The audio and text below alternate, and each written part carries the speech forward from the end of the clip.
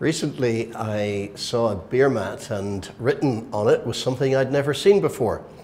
And it was a question, actually, quite an important question. And the question was simply Is the hokey pokey really what it's all about? It reminded me of different times in church. I would look around and I would think to myself, What is this all about? What is church all about? What are we here for? I wonder what the Bible has to say about that. Well, that's something we're going to unpack together in the next few minutes. So let's just pray. Father, I pray that you will uphold me, that Jesus Christ may be uplifted. In his name I pray. Amen. So, what is it all about? What is being a Christian, being part of God's family, the church? All about? What are we here for? Well, let's go back to the rule book, the guidebook, uh, the book that we believe is divinely inspired. And really, from beginning to end, one of the things that is quite clear is that from the first book of the Bible, Genesis, to the last book of the Bible, Revelation, it is abundantly clear that the God we worship is a God of mission, a missional God. The very first chapter of the Bible, Genesis, the story of creation.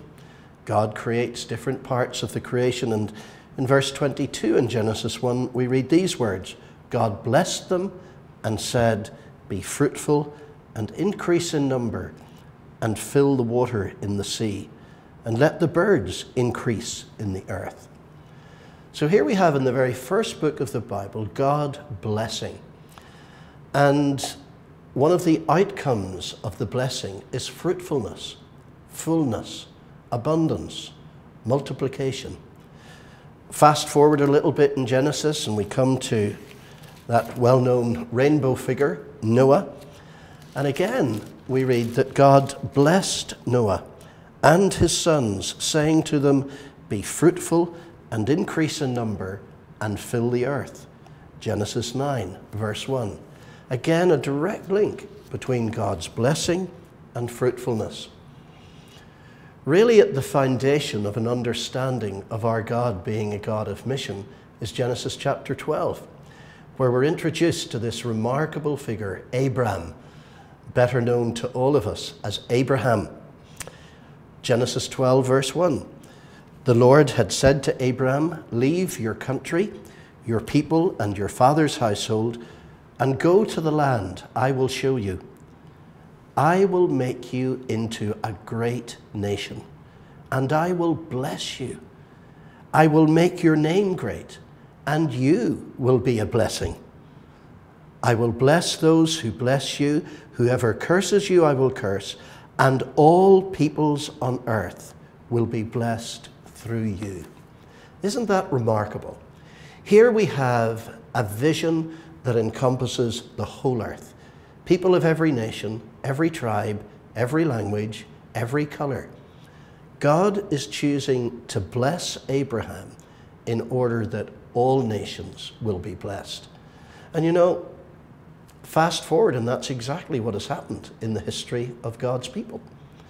You have the vertical dimension, God blesses us, and then the horizontal, so that we then become a blessing to others. This is the way God works. Blessing is not for us to hold on to jealously, it's for sharing, it's for giving away. God has called his people to be a blessing to the whole world, all nations.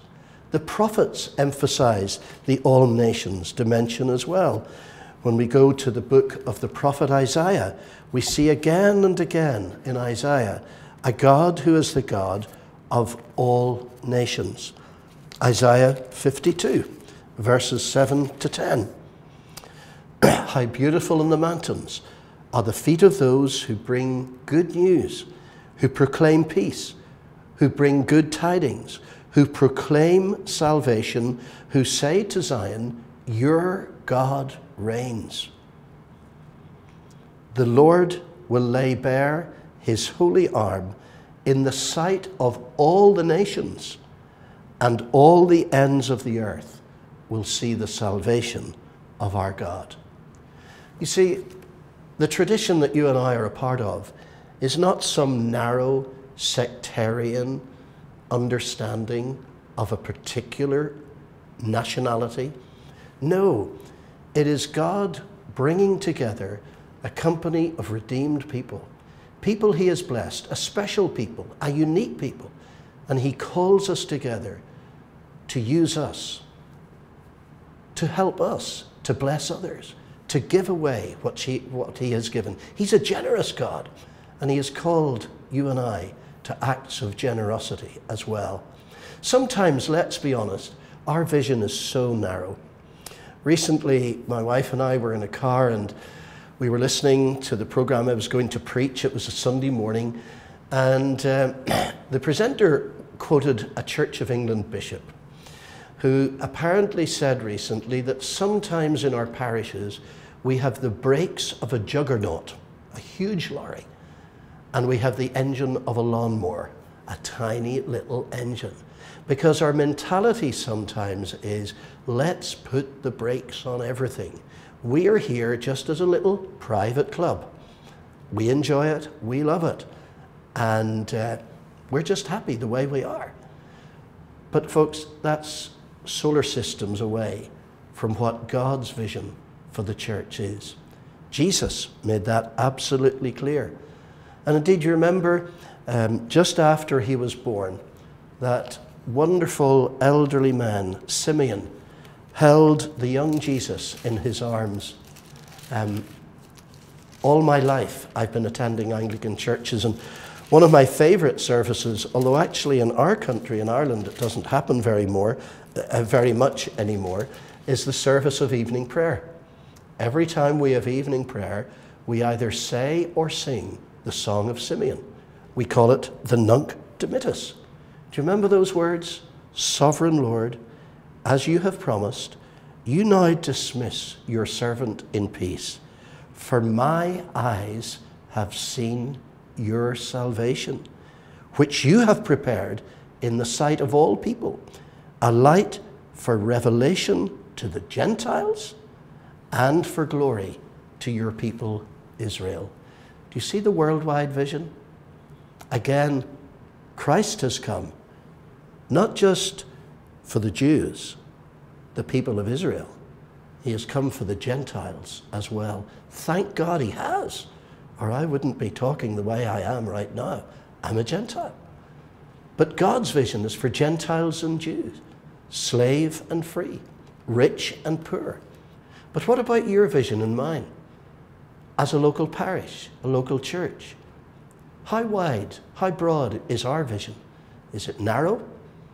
Are we just focusing on ourselves? Or have we caught this vision that God has that was expressed so clearly in Jesus? You remember at the beginning of his public ministry, Luke chapter 4, he goes to the synagogue in the town where he was brought up, Nazareth, he stands up to read the scriptures in that synagogue. And what does he read? Words from the prophet Isaiah The Spirit of the Lord is on me, because he has anointed me to preach good news to the poor. He has sent me to proclaim freedom for the prisoners, recovery of sight for the blind, to release the oppressed, to proclaim the year of the Lord's favor. His mission is all about others. Probably the most famous verse in the Bible is John 3, verse 16. Who is it God loves? Just a particular group of people? No, the whole world. God so loved the world that he gave his only begotten Son. This is the vision that he has. But the key question is in our parishes, is this the vision we have? Because that's the way God wants it to be. We see it worked out in the lives of Paul the Apostle, Peter, one of the best friends of Jesus. Peter talks about the people of God as being a holy nation, a royal priesthood. We are called to declare the wonderful deeds of Him who has called us out of darkness into light right through the New Testament, there is this emphasis on reaching out, sharing, giving, being a reflection of God's perfection, loving the world as He loves the world. Even the last book of the Bible, Revelation, some people call it revolutions, and actually, maybe that's not totally far away from what it actually is, because it is revolutionary. But there too, we have a vision of heaven. People from every tribe, every nation, every tongue. I can't wait for heaven. That will be the most international gathering that has ever existed. And it's forever. Perfection. And we're to enjoy that with people from every nation and every generation. So let's just do a little reality check. As you think of your parish, and I think of the parish I belong to, is our life reflecting anything of that kind of vision? Are we a church that reaches out to others? Are we a church that thinks of others? In my opinion, one of the model churches in the New Testament is the church of Antioch.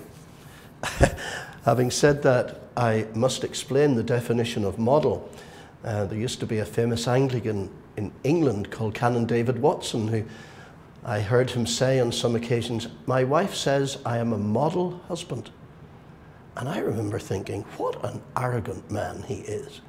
And then he said, But her definition of model is a poor replica of the real thing.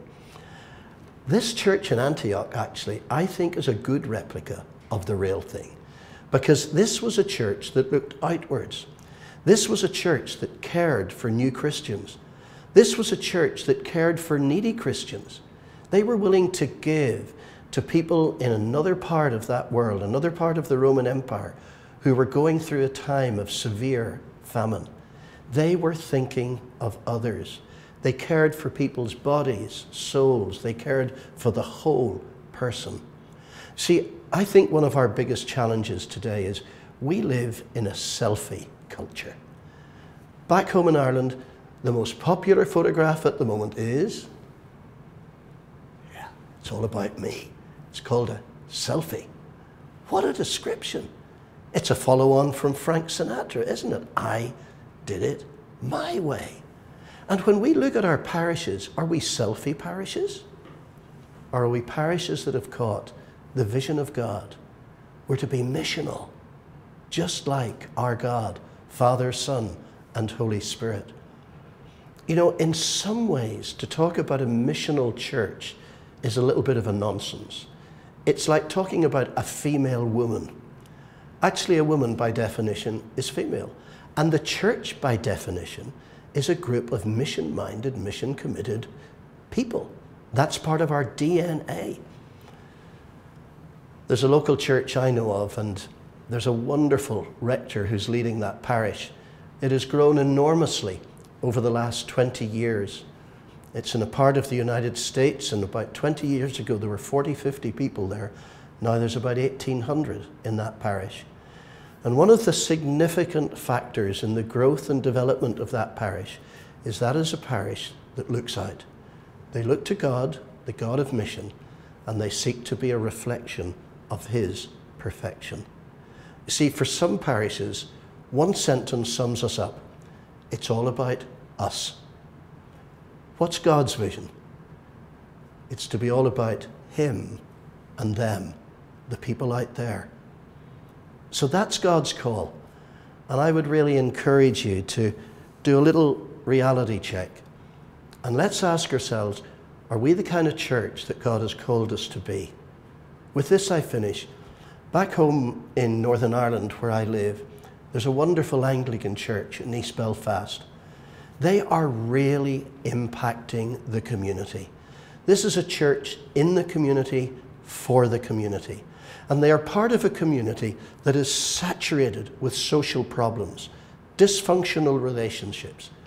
This church is a generous church. This is a church committed to acts of kindness, being the kind of church God has called us to be.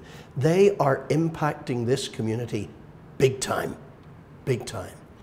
Not so long ago, a lady in that community said this I'm not a Christian. I don't go to church. I don't know if there is a God or not. But I don't want this community without that church. And she pointed to the building of that church. I wonder in how many places people would be saying that.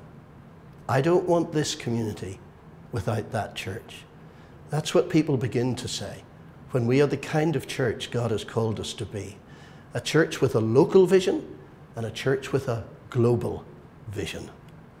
Let's go for it. God bless you as you work. Work out being the church God has called us to be.